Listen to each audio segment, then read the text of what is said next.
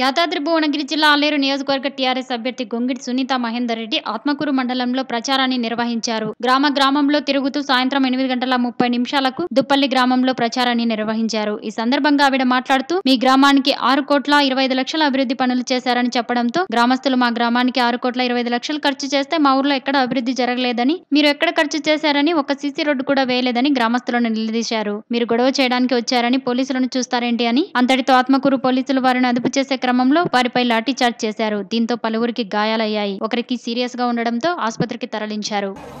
ఆడికి పోయినాం. ఏది? వచ్చిందంటే ఆడికి పోయినాం. ఆ ఐదు లక్షల ఇరవై ఐదు కోట్ల ఇరవై లక్షలు పెట్టిందని చెప్తుంది. చెప్తున్నప్పుడు మేమన్నాం కదా ఐదు కోట్ల ఇరవై లక్షలు పెడితే మా ఊరు ఎందుకు బాగుపడది? మా ఊర్లో ఏడున్న చెత్త ఆనే ఉంది. ఏడున్న బొంద ఆనే ఉంది ఏడున్న గుంట ఆనే ఉంది. మరి ఐదు లక్షల ఐదు కోట్ల ఇరవై లక్షలు ఏడబెట్టినామమ్మా అని అడుగుతున్నాం అంతే. ఆమె ఏమన్నది? చూస్తారు అన్నది. చూస్తారు అనగానే ఎస్ఐ తలిగింది అమ్మడి వేస్తూనే ముందు లేడీస్ చూడలే జెంట్స్ చూడలే ఆ, వేస్తే ఆంటే వేస్తే నీ అమ్మ రెండు వేస్తే రెండు దెబ్బలు వేసిండు సార్ నన్ను. ఆ, అంత అవసరం ఆ సార్? మేము దొంగతనం చేసినామా మేము? ఈ ఊరికి? వచ్చినంత మాత్రంలో